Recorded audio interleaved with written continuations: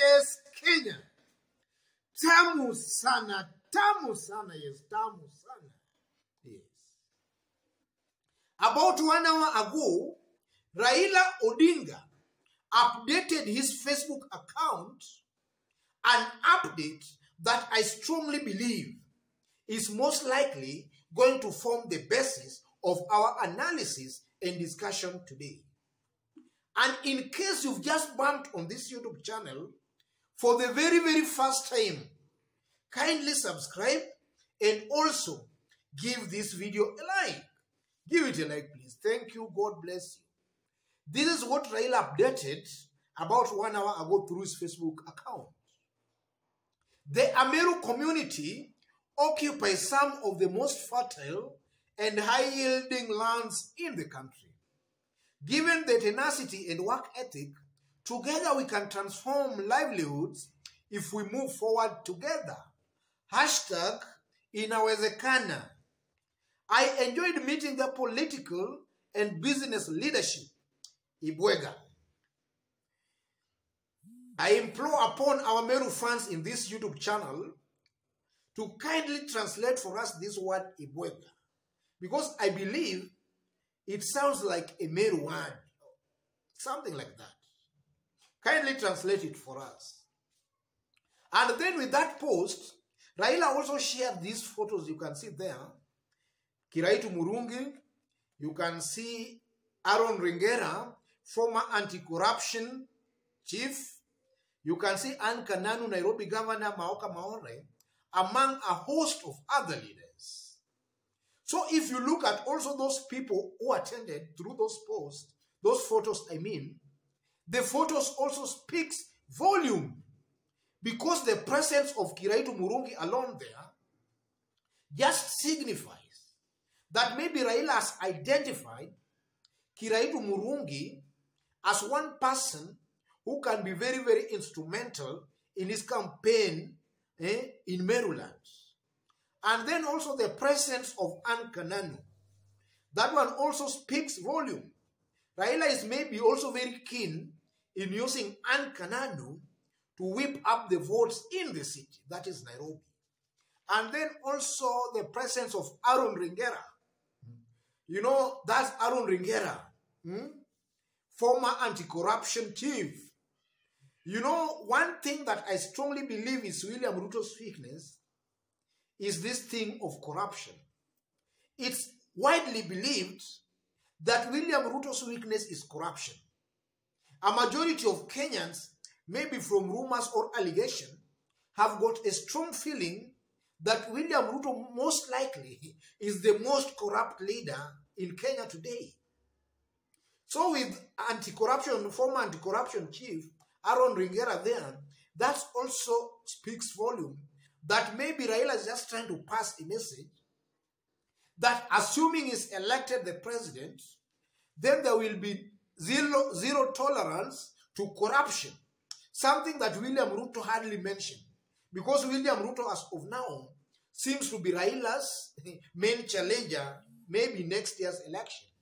So the presence of Aaron Ringera also speaks volume. Having said that, ladies and gentlemen, let me say that if you compare Raila's brand of politics and William Ruto's brand of politics, these are they're world apart.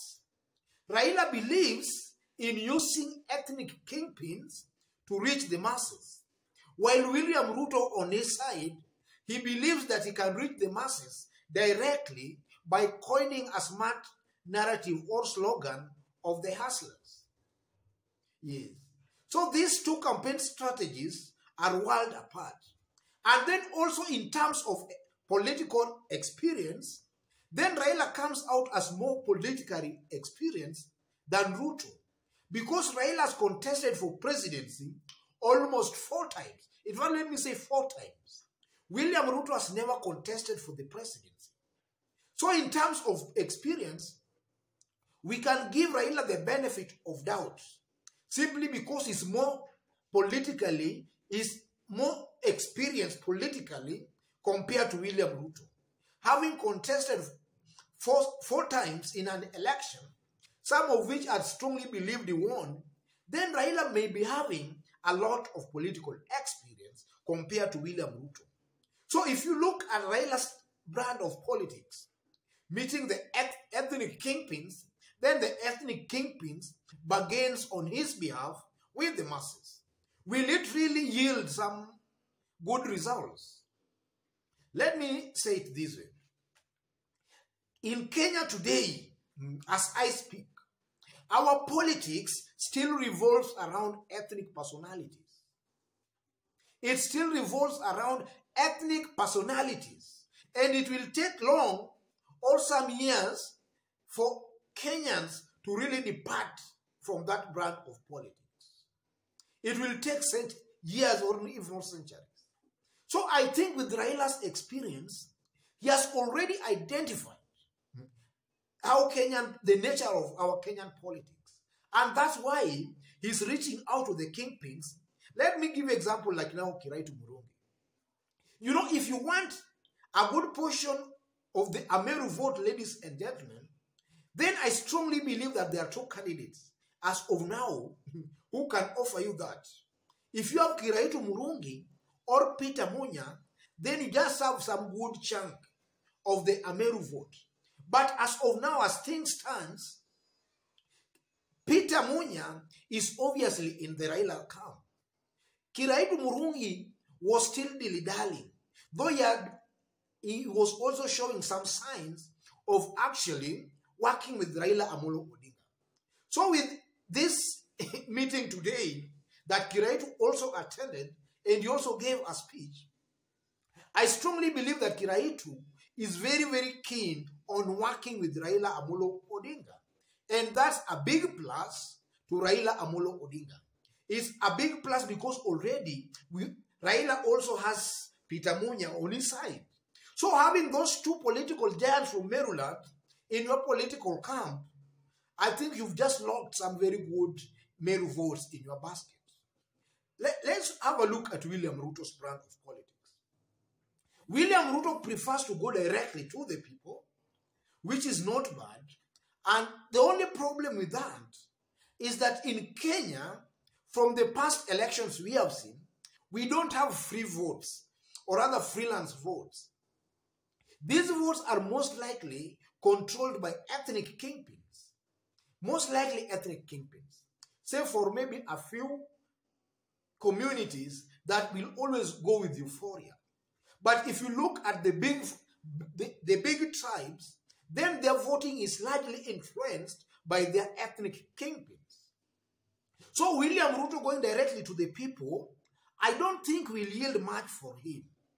Because at the right time when politics will get charged, as I've been saying in this YouTube channel, Kenyans will definitely recede back to their ethnic cocoons. And they will now try and look at where their ethnic kingpins are. Hmm? So I believe William Ruto might, might be missing the point simply because he has never contested for any presidency or rather for any presidential election. So I think this being his first attempt, William Ruto has still got a long way to learn. Hmm? And I know he will just learn the truth about our Kenyan politics in this, maybe assuming he contests in 2022. I think we will come to the reality that actually our politics revolves around ethnic kingpins. And Raila beats Ruto on that. Raila has already identified ethnic kingpins that we will now just use to bargain with the residents. And that's a very smart political strategy. Otherwise, ladies and gentlemen, just as I did mention when we were starting, if you've just bumped on this YouTube channel for the very first time, kindly subscribe and also give this video a like. Give it a like, please. Give it a like. And to those watching us outside of Kenya for the very, very first time, very first time, kindly also drop a comment and let us know from which part of the globe you are also watching us from. Drop a comment and let us know from which part of the globe you are watch, watching us from. And to those who might be our fans in this YouTube channel, You can be a fan of our videos, but you have not yet subscribed. Also subscribe and also give this video a like. To our fans who are always giving this video some likes, dropping comments, let me also take this opportunity to thank you abundantly. God be with you. God bless you abundantly. Tamu sana, tamu sana.